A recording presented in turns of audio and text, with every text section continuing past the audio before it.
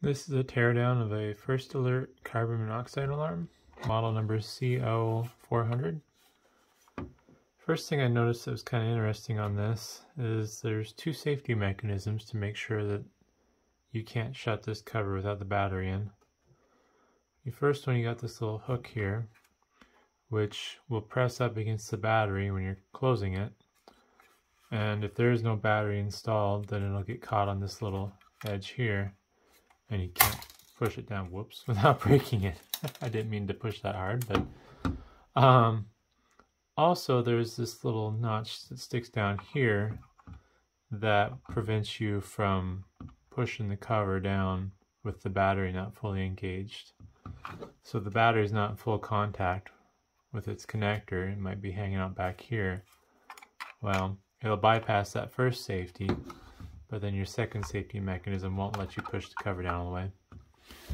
Or in my case, accidentally break the cover by pushing down too hard. This is held together by little plastic snap tabs. I'm going to do this off camera. Hopefully. This is a destructive teardown since this unit does not work. Plus I think it might be past its expiration date if it has one.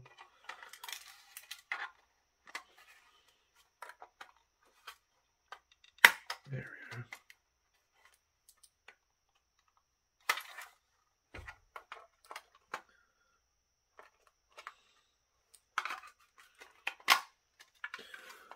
I'm not doing this the nicest way since this is a destructive teardown, but basically you stick your screwdriver in there and you pry against the uh, little locking tab.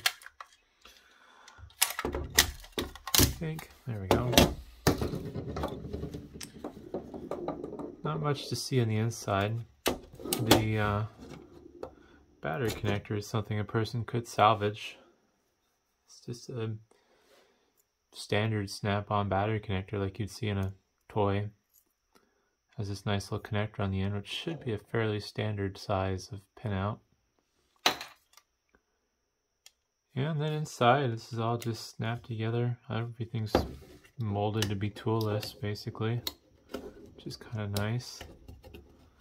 But make assembly really easy.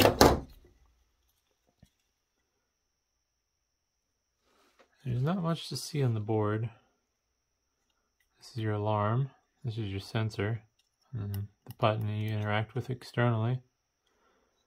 Looks like there's an LED there for uh, notification purposes if, if the alarm's not going off or to let you know if um, if, if you know battery's working and stuff if memory serves correct.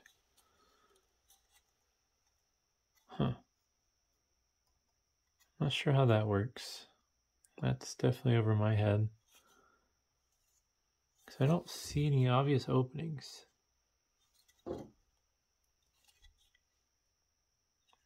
Interesting.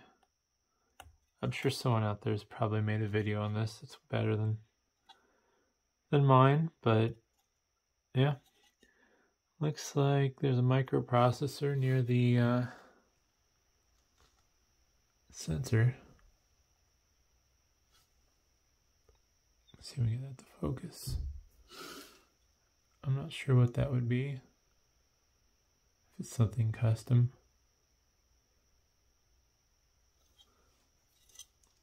Also, probably going to be hard to show, but there is something under the alarm buzzer. I do not think I'm going to be able to get to that though without being super destructive. That's probably just a driver circuit of some sort to uh, make the tone. There's a capacitor in there too. Might be like an amplifier. Get that in frame. Oh, the surface mount electrolytic. And then on the other side is a uh, surface mount transistor. There we go. Right there.